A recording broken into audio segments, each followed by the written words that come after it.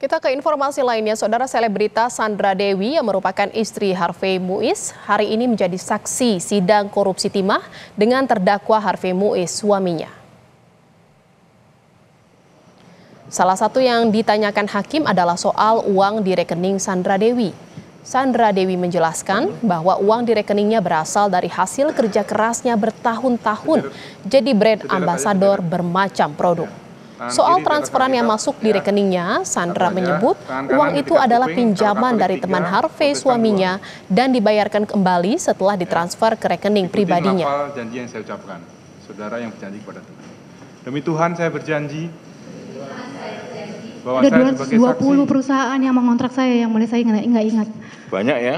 Banyak yang mulia. Jadi hampir tiap hari syuting gitu?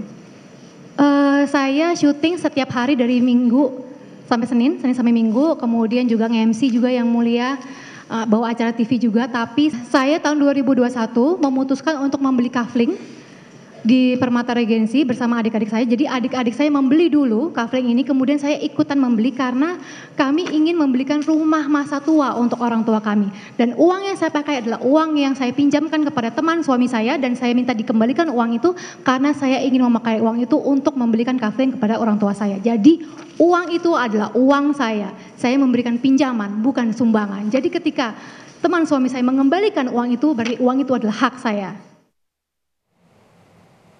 Saudara nama selebritas Sandra Dewi muncul dalam dakwaan Harvey Muiz. Dalam dakwaan, jaksa menyebut pengusaha Harvey Muiz menerima 420 miliar rupiah dari hasil korupsi tambang.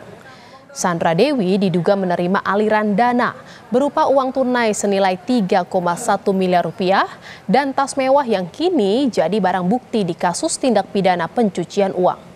Harvey Mois didakwa melakukan kong kali kong dengan terdakwa lainnya dalam proses pemurnian timah yang ditambang secara ilegal dari wilayah tambang PT Timah yang menyebabkan kerugian negara sebesar 300 triliun rupiah.